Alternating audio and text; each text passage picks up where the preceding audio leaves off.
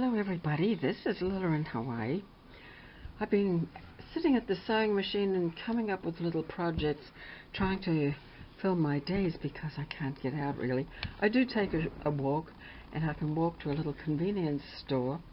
I've been making some masks. I think I made about, oh, probably about 15 in the last couple of days.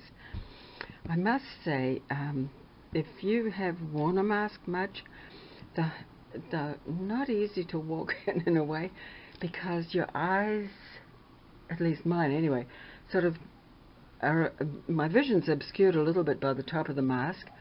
And when I walk, I always look down somewhat because it's quite rough, the sidewalk. So I want to make sure that, um, you know, I'm not going to trip over something. And so I'm having a little trouble maybe with the mask. mask I'm sure I'll get used to it. Anyway, one of the things I made this morning was I wanted to jazz up my lanai because I'm sitting out there a lot since I can't really go anywhere else. And I had this French-inspired fabric, and so I thought I had just enough to make a, make a garland or a banner, or a kind of a bunting. And so um, I thought I'd show you how I did it. I can't hang it up and show you right now, but very easy, very easy my way. So the way I started it was I cut um, these um, 8 inches by 6 inches at the top and then just drew it to a point. Then I serged down the side of each of these shapes and um, I don't know if you can see any better on that one. But anyways, just serge down the, the sides. And then when that was done, I pressed them, because the serger does tend to sometimes, you know, pucker them up a bit. Then I decided how I wanted to hang it. And I don't want them to slip along. So I thought the best way for me to do it was to stitch it so that it doesn't slip. And so this is what I came up with.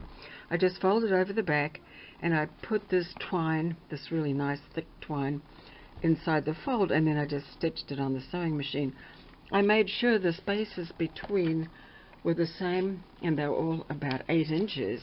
I measured one from the other.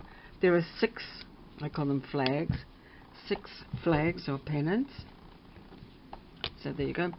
And then I thought they need a little bit of flutter because they'll be hanging on my lanai where it does get you know, kind of windy. And I, therefore, I tied a piece of seam binding, slightly crinkled, between each of the flags. And then I had some French wooden buttons. The, I think they, they mimic some of the French, you know, the um, fabrics that you can get. Not toile, but the other kinds, the ones that were inspired by India. And so these are the buttons and I put a different one. And I did hand sew those on and that sort of helps keep them weighted I think because as I said it's going to be blowing. So anyhow that's my bunting and I thought that I would show it to you.